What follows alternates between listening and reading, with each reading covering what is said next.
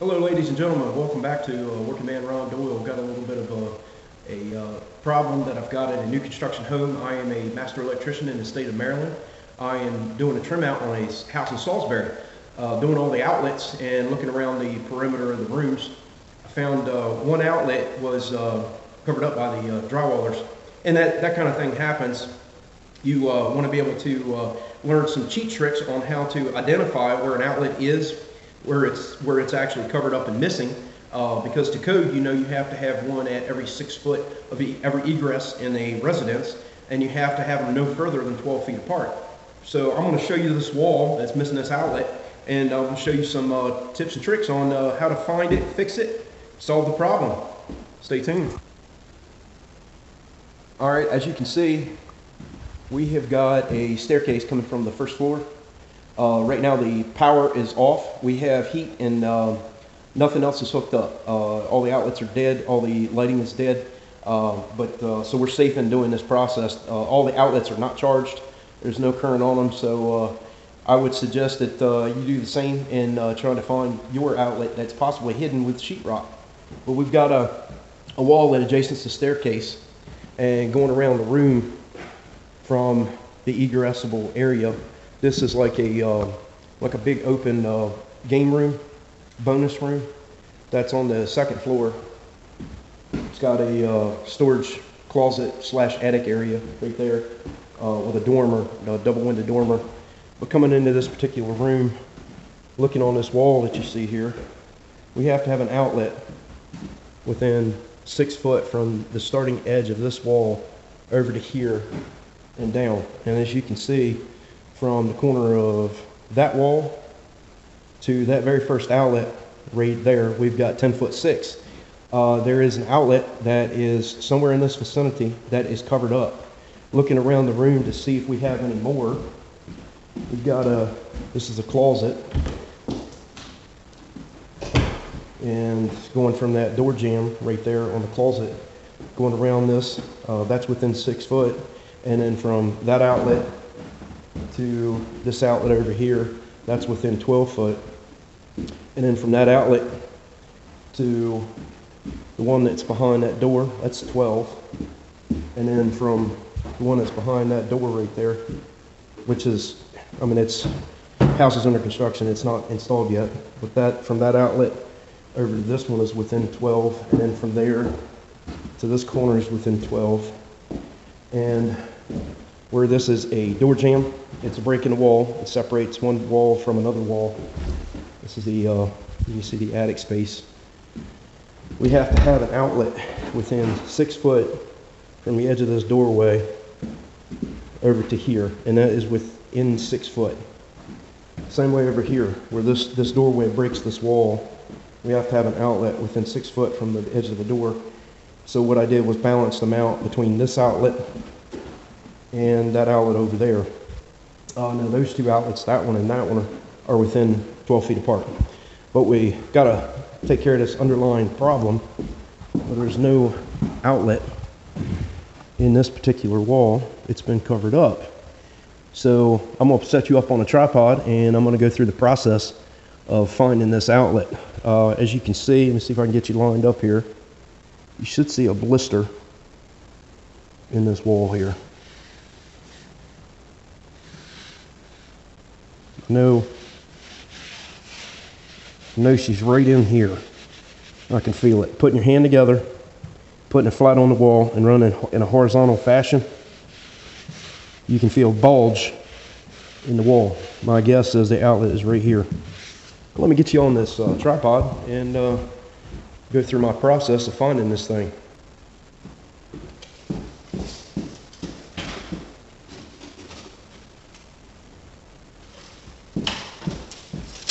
Eighteen inches to the top of the top of the box is what we're looking for.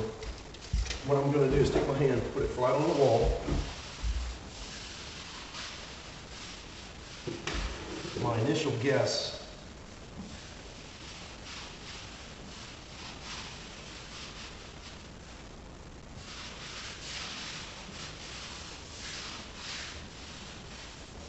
somewhere in that matter. Then I'm going to draw a reference mark with the pencil graphite at 18 inches to the top of where the box should be. And I'm going to show you a couple more methods of trying to find this.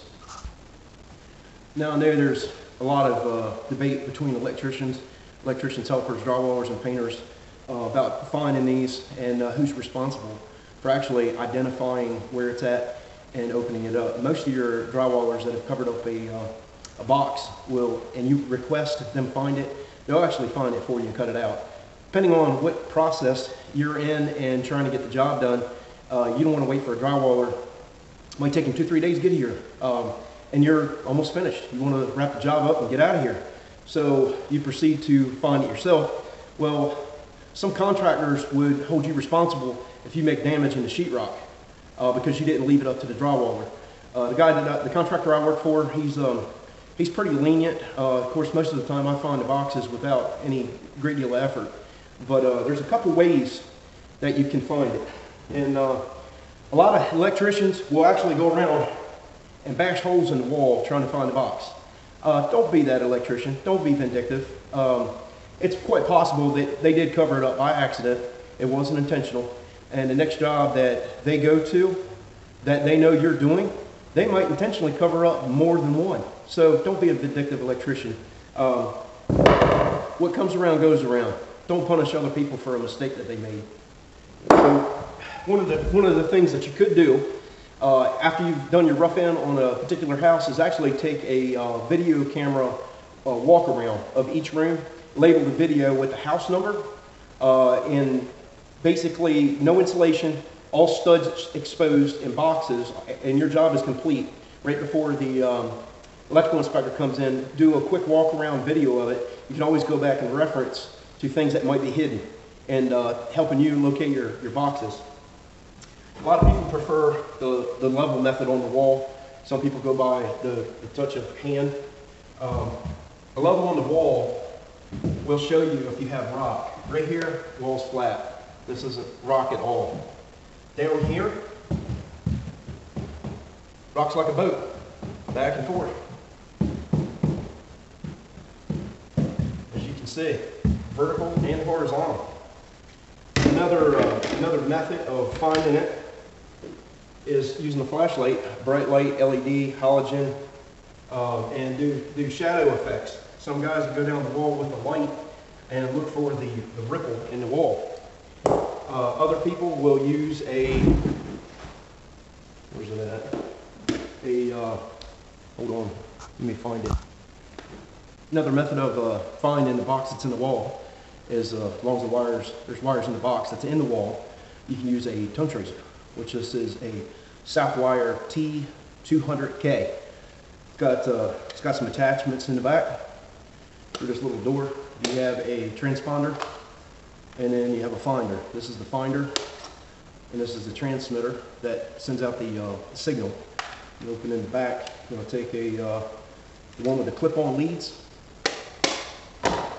plug the tester into the back side of it, push the button, turns on with a, a red uh, blinking light, and hold this test button here. And when it gets close to a pair of wires that you've clipped this to, it will send an audible signal through this device. So I'm gonna go over here to this corner, clip it on the wires, and find it.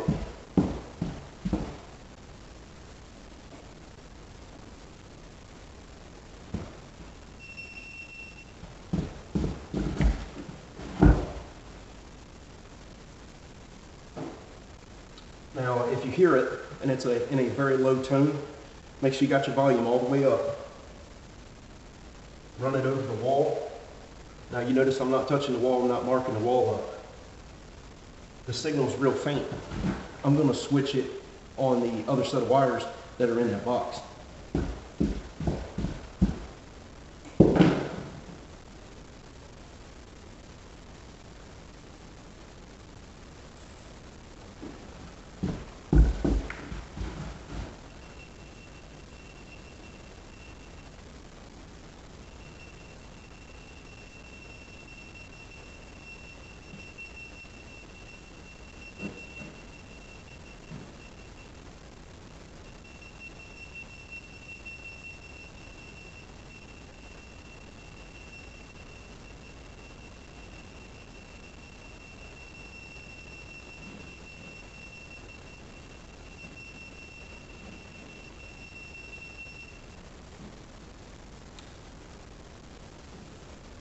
Right in that region is where this is detecting the signal.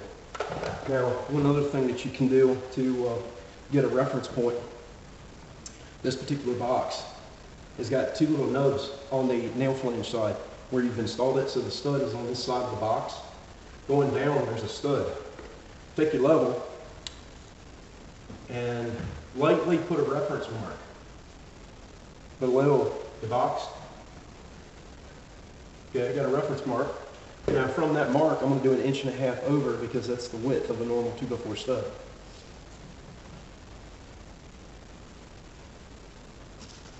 Now, in my process of wiring houses, I don't like to group too many uh, boxes on the same side of the stud because you end up having to use cable stackers uh, because you're, you're over the allowable amount of wires that are allowed to lay on the face of a stud with regular staples. Cable stackers cost more. I try to do away with using those. So my better judgment, this is a two by four in between these two reference marks going off of this box. The box that we're looking for is on this side of the stud. So this box is on this side of the stud. The box that is covered up is on that side of the stud. We know our reference point is at 18 inches to the top of the box. I've got 18 inches on this mark. I'm going to draw a line going across. And what I'm going to do is another reference line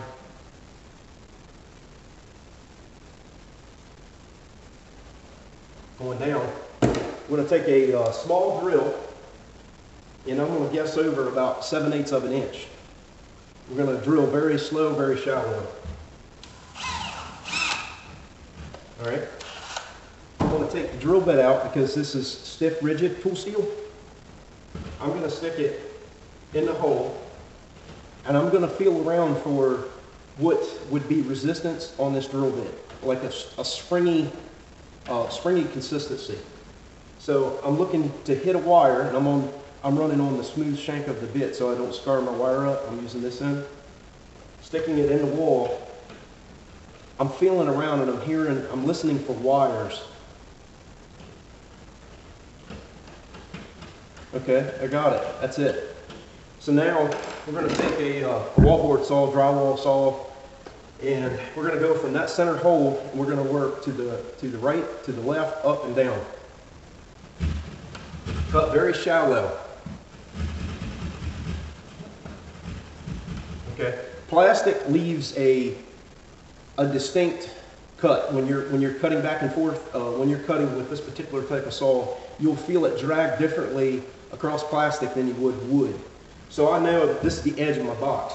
I'm going to flip this over, slide this in the wall so that my blade is coming out on a 90 degree angle and I'm going to put a permanent reference mark. Now I'm going to do the same thing. I'm going to go to the opposite side.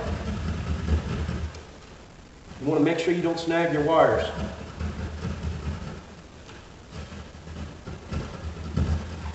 All right, that's the edge of my box. Use my knife, my uh, saw as a reference. And that's the other side of the box. Now I'm going to go up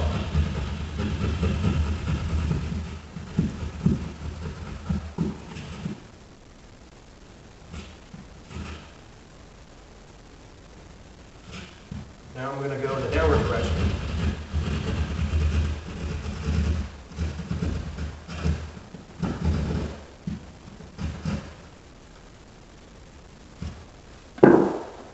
To take my level, and this is a smooth level. If you all are looking to find a box on a finished floor, you got carpet down and you're trying to locate this box, what you can do is get you a Warner bucket it's a Warner ladder bucket, and uh, I've got a piece of pad to protect it. So if I hit the wall, it doesn't scar. But in this case, I'm going to collect the dust that's on that's going on the uh, from the cut before it hits the floor. And the profile of this bucket right here will allow you to put it to the wall like so and catch 75, 80% of the dust.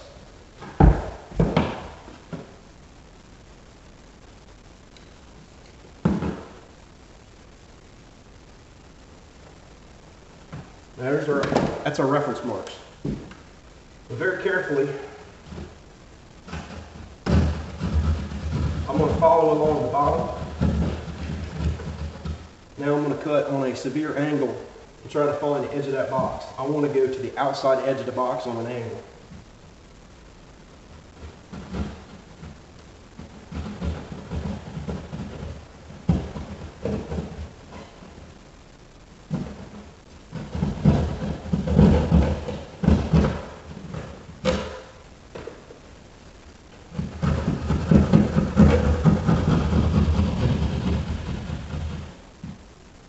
Now I'm going to do the same thing. I'm going to angle my saw in a downward fashion, and I'm going to find the top edge of that box.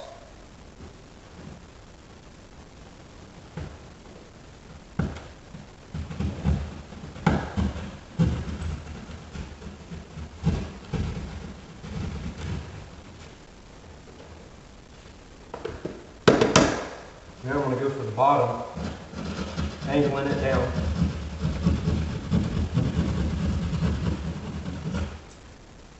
Now I'm going to angle this out and try to find the edge of the box with the blade.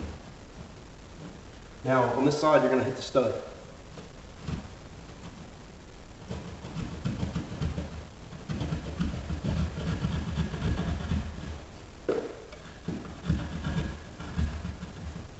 Support this last piece so you don't have drywall tear out.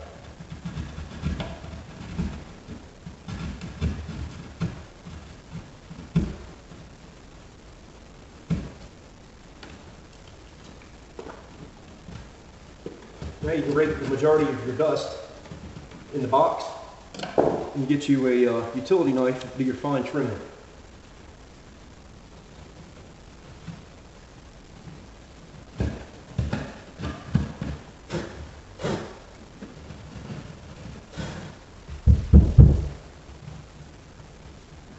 Now if you're doing this in your home, you're going to create nail pops. There's a nail pop right here that's starting.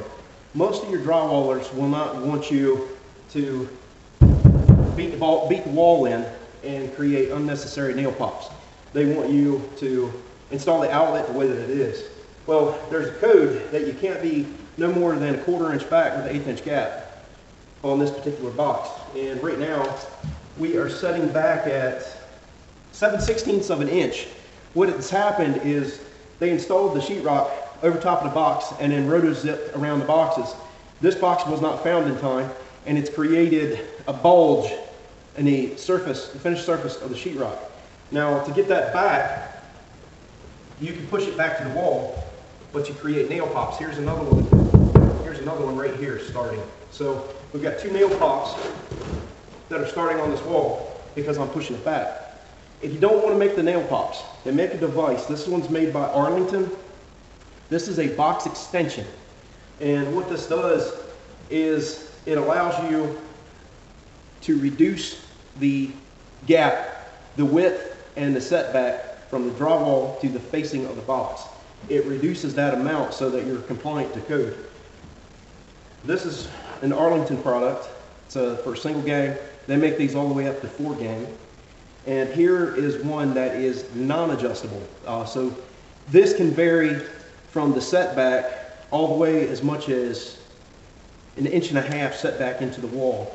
Uh, like if you were to lab, somebody were to lab this out and uh, put sheetrock up, you'd have an inch and a half gap with a two by four uh, on the facing of the, of the stud wall. Um, this one would be ideal. This one's ideal if it's a fixed amount. Now, they sell these in uh, quarter, five sixteenths, and three eighths. This one happens to be three eighths of an inch. I could legally put this, cut this to fit. Go ahead and trim it so you can see what it looks like.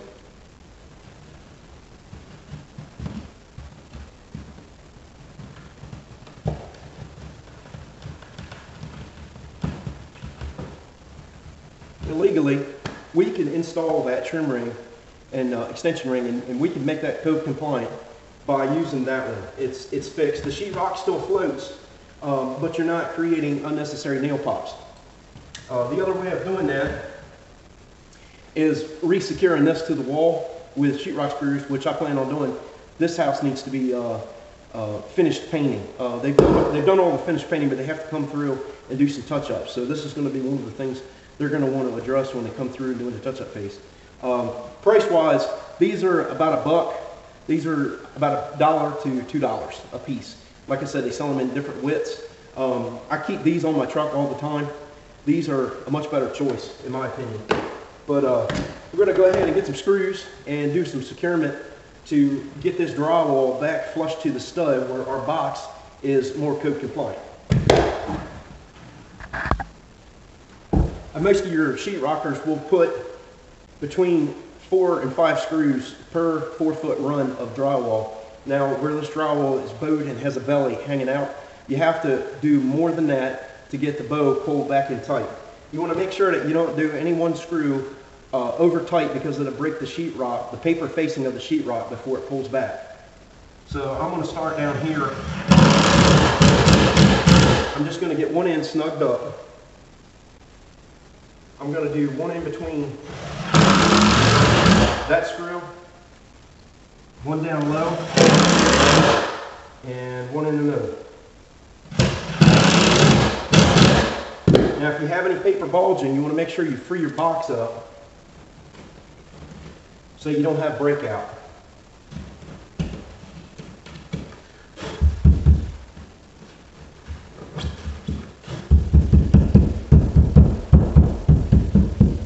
Light taps around the hole will show you if anything's held up with uh, excessive drywall.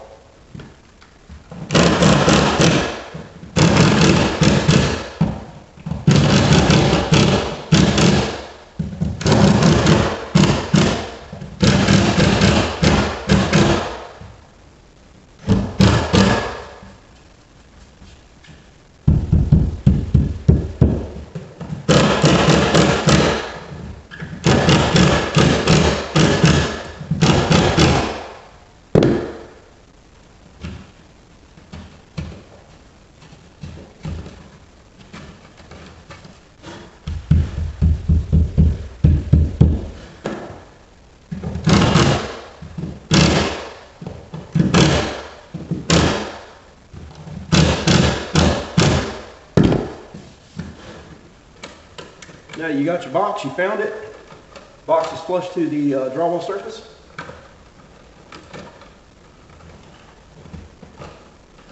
Now you can proceed to uh, install your outlet. Now on the uh, getting your outlet installed is not going to be a problem. They'll be able to mud around the outlet. Uh, you may want to leave the uh, the trim plate off until the uh, the end so that they will have ample opportunity to do the drywall patching and the painting without messing up your uh, your trim plate. So ladies and gentlemen, I really hope this was uh, helpful and uh, beneficial to you all in finding outlets on your next project. And uh, if you all liked the video and thought it was helpful in any way, appreciate you giving me a thumbs up. Uh, if you care to subscribe, it's free of charge, doesn't cost anything. Uh, I'd like to see you all back on the next video. Happy New Year's to you all. God bless. Y'all have a wonderful year.